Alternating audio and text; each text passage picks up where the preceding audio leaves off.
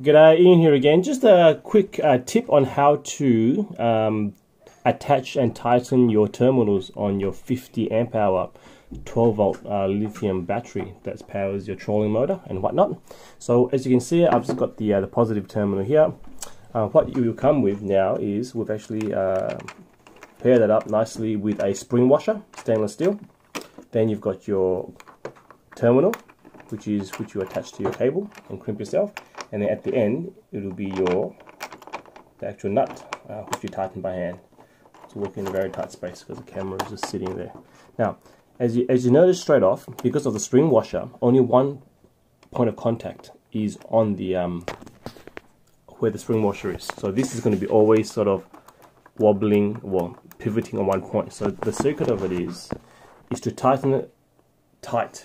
So you put your you will line up the position where you want the finishing, let, us let's, let's say uh, 90 degrees sticking out, and then you tighten it by hand. As much as you can, and you, because like I said, I'm working in a very small space because the camera's right next to it, I don't have much room in my hand, but you just tighten as much as you can, and even though you tighten as much as you can, you notice that it's still, see, that's not a good connection. Um, with high amperage uh, loads, where you've got a poor connection like this, that part is going to get very, very hot and you end up melting off the terminal, off the casing because uh, the actual terminal is molded in there. So, but under normal use, you can pull up to even you know 60 amps through it with a good connection. You go straight to the battery. But without it, it's going to fail there. It's going to basically burn out and melt the, the mold, and you're going to have all sorts of problems. So never run your battery with a loose connection. So what do we do? Get some plier, and as you just tighten it down, the spring washer will compress until it's perfectly flat.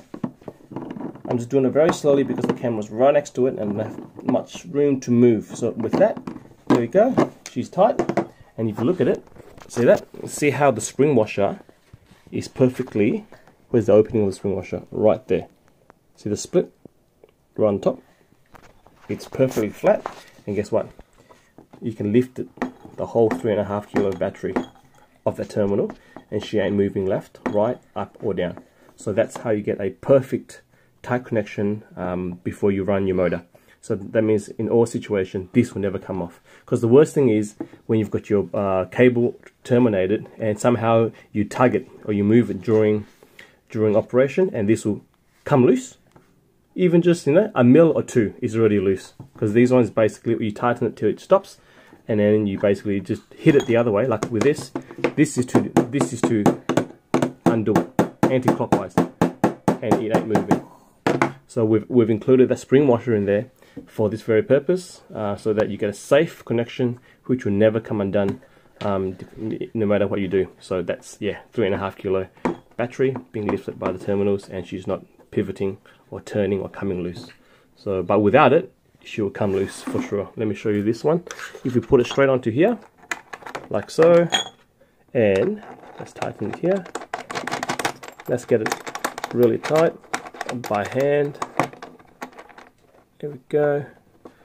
Or even if you just tighten it by, even with the tool, let's uh, with the pliers. Let's go. There we go. She's in, and watch this. There we go. She's loose.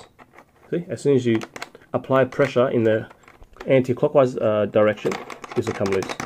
Not so with the spring washer that we've, we've included. So let's uh, let's hope this has helped and understand. And of course, put a spring washer first, this, then the nut. Okay, so spring washer first, the terminal, then the nut.